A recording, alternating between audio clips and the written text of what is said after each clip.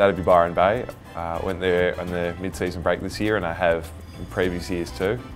And uh, fortunately my fiance couldn't make it so I had to go up there with a few of the boys this year. We went to Darwin actually last week with the reserves, so I hadn't been there before, so it was, um, it was nice to get up there and it was, it was a lot nicer than I expected. I love going up to Byron Bay, um, you know, relaxed lifestyle, great weather and the beaches are fantastic. Uh, Coogee Beach in the eastern suburbs. Probably the Kimberleys and Darwin, the two that really tickle my fancy.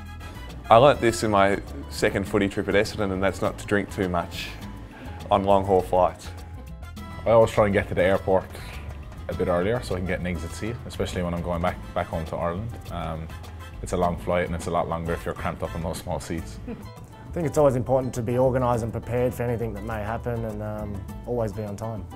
Getting yourself um, on time ahead of traveling. So for myself traveling back to Canada, it's five or seven hours difference, so I try and stay up late a few nights before I take off. Meet a local that you think you might have something in common with and ask them for advice and tips as to where to go and what to do because those brochures are always seem to be pretty corny.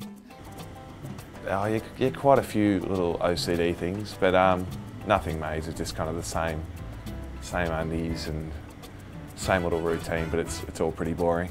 I have a pair of budgie smugglers with a little shamrock on the front of them, so I wear them under my shorts in every game. Uh, I always wear the same socks, shorts and swimmers.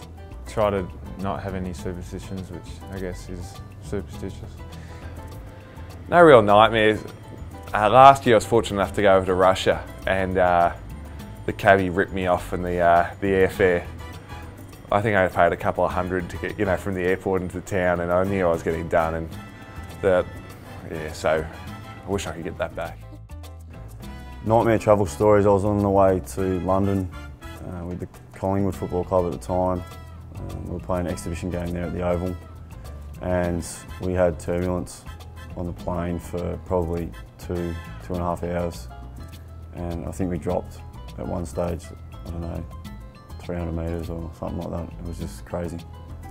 Uh, I'd love to sit next to um, Ricky Gervais. It'd be an absolute pleasure to sit next to him and just on a long haul flight and just let him go and just hear him talk and I guess that'd be the highlight of the trip. Doesn't matter where, where I'm going.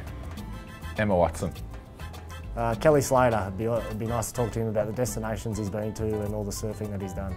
Uh, Buddy Franklin. Barack Obama, that'd be kind of cool.